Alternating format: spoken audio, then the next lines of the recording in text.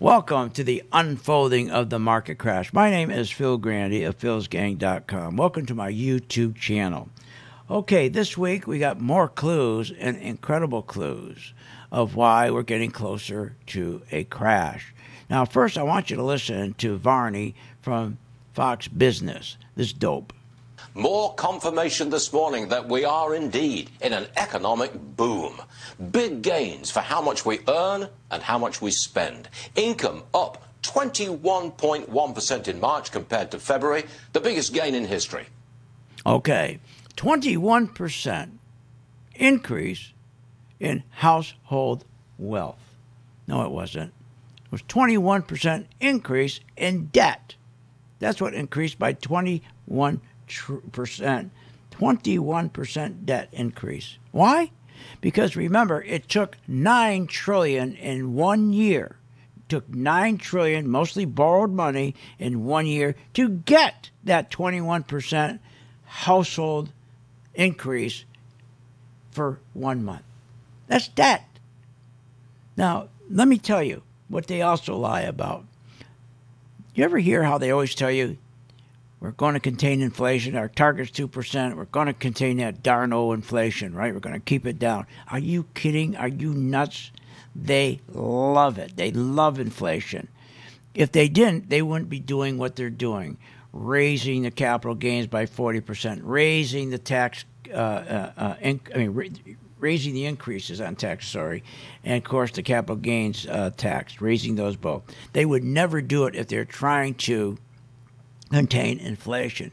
Inflation is brutal, but they love it.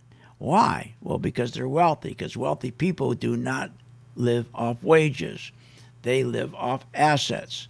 And let me explain. When you have inflation going up, just like this here, inflation going up, the dollar going down, that does two things. First, the debt of large corporations and the debt, our national debt, is less valuable. So they're paying it down with less valuable dollars. Now that makes that makes China grumpy, our lender, and Japan, our lender, very grumpy because now let's say they had a trillion dollars of, of our debt. Well, because the debt is getting less valuable because of the inflation going up and the dollar going down, okay, they get grumpy and they say, wait a minute, I got a trillion of your debt. Now it's only worth 800 billion. So I'm telling you what I'm going to do. The next time I go to your auction to loan you money, I'm going to want more interest rates. So listen what I'm saying. That is going to bite us in the butt. I'll show you that in a second. But they love inflation and they love the dollar going down because it does something else. They're wealthy, they have assets titanium, platinum, they have gold, they have artwork that doubled this year from 6 trillion to 12 trillion. They have rare coins, they have stock, they have exclusive real estate. They don't have, they, their wages they could care less about. So again, because they're not on wages and their incomes come from dividends and all these asset prices, they want to see inflation going up. And that's why they don't complain about our debt and how big it's getting. Now, what does that do to Main Street? Oh, this is where the market's going to crash. Poor Main Street, the hard-working guy, he is screwed big time because the guy on Main Street, he works hard. The plumber, the carpenter, he works real hard. He's on wages, okay? So when there's inflation for him, that's a catastrophe because his power of his dollar purchasing goes down. So when he goes to buy some groceries, instead of getting two bags, he's getting one bag. See, there's no offset. He doesn't have all these assets, titanium and platinum and gold and rare coins and stock and exclusive real estate to offset the dollar going down. And this is why the market crashes because we reach a point when yields get really high, when yields get really high, things go awfully bad. What does that mean? Well, here's what happens. When yields go up, here you are in March 2020. Yields in, in yields right here, you can see yields were at 20 or 85 basis points, 85 basis, 81 basis points.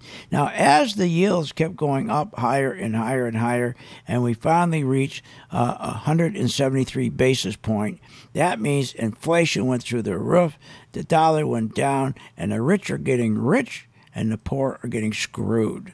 Now, what we want to watch, and here's a real clue when the market's going to crash, as inflation reaches about 2.3%, that's when you know the market is close to crashing.